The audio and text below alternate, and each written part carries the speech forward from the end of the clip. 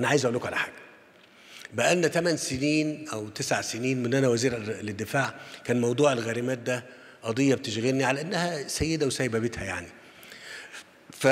فكان كنا نشوف كل شوية نشوف كم عدد اللي موجودين ون...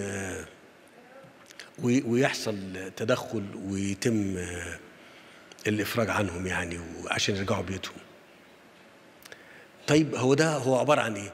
عبارة عن أم راحت تجيب فلوس يعني عشان تشتغل أو عشان تعمل وبعدين ما نجحتش. أو تجيب تجهز بنتها وما قدرتش تدفع تسدد يعني. وطبعا اتعملت منظومة في الموضوع دوت آه، يعني كانت مؤذية يعني. فكان اللي أنا بقوله ده عشان عبارة عن إيه؟ أنا بقول لكم إن الدولة الحديثة هي دولة تنظر لكل المشاكل وتعمل لها آليات حل تبقى منظومة عمل مش وجهات نظر. تبقى منظومة عمل مش وجهات نظر مش جمعية اللي بتعمله مش حد يقوم بدور خيري فقط. لا الدولة تعمل فكرة تحل بيها المسألة. الدولة تعمل فكرة تحل بيها المسألة. أرجو أن أنتم ما تاخدوش كلامي في المواضيع ديت على إنها نوع من ال يعني يعني يعني حاجة زيادة عن اللزوم والله. لا أنا مش بتكلم على الصندوق بس حتى على القانون وحتى لما إحنا اتناقشنا في موضوع نسب الطلاق أنا أتمنى إن ما فيش أي بيت يتهدى أبدا أو تنفصل أسرة يعني لكن ده وارد يعني ده وارد. وأنا بس كنت يمكن عايز من آه، السيد وزير العدل يطمنكم إن الانطباع على حجم الطلاق في مصر مش زي الحقيقة. خلي بالكم من كلامي الانطباع عن حجم الطلاق في مصر مش زي الحقيقة.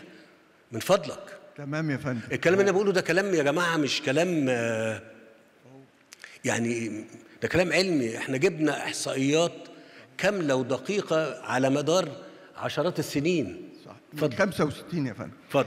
هو كان في رقم سلبي شاع في المجتمع وبين الرأي العام إن نسب الطلاق السنوية متوسطها 34% طبعا النسبة كبيرة جدا.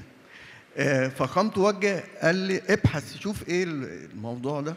آه، طبعا بالتعاون مع وزارة الداخلية هيئة الرقابة الإدارية النيابة العامة جبنا كل الإحصائيات والجهاز المركزي لل- والجهاز المركزي للتعبئة العامة والإحصاء.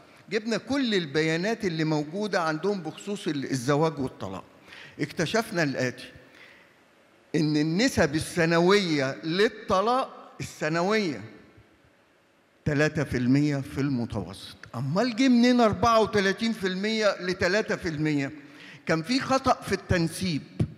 خطأ في التنسيب إزاي؟ اللي اتطلقوا مثلا سنة 2020 هل كلهم متجوزين سنة 2020 ولا في اللي متجوز 19 و18 و17 و15 و2010 وقبل كده؟ فاللي اتطلقوا في سنة 2020 دول عن زيجات من سنوات سابقة. طب واللي اتجوزوا سنة 2020 هم اللي اتجوزوا سنة 2020 بس. فكان الخطأ في التنسيب إن إحنا بننسب حالات طلاق عن سنوات متعددة إلى حالة ز- حالات زواج عن سنة واحدة. فهنا جاء الخطأ. نسبة الثلاثة في المية مع إنها موجودة وأول يعني سنتين في الزواج هم اللي فيهم النسبة الكبيرة في الطلاق وخصوصا السنة الثانية مش السنة الأولى.